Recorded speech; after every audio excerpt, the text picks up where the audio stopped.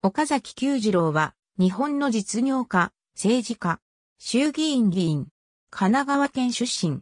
1895年、高等商業学校卒。同期に、佐野前作、石井健吾など。卒業後、三井物産に入り、その後退職して大日本自転車、日米商店を創業する。相模鉄道初代社長。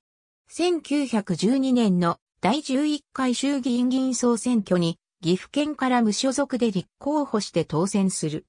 1915年の第12回衆議院議員総選挙では立憲同志会公認で立候補して当選。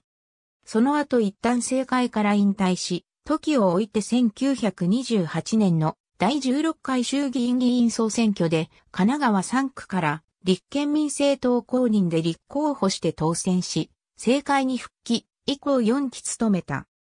1940年2月、衆議院本会議で斎藤隆夫が品樹編処理を中心とした質問演説をした際に所属していた民政党が斎藤の議員除名に賛成する方針を取ったのに、大使岡崎はこれに反対しりとして、決議では反対票を投じた。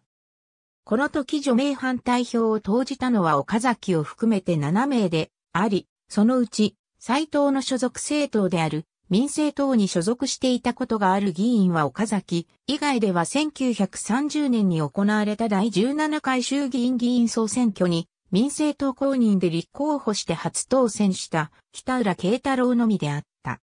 なお北浦は1939年に行われた衆議院議員選挙の再選挙に無所属で立候補して二度目の当選を果たす前に民政党を離党しており、反軍演説の時は、院内会派の第一議員クラブにところを属していた。後に、同好会に入り、1942年に死去した。ありがとうございます。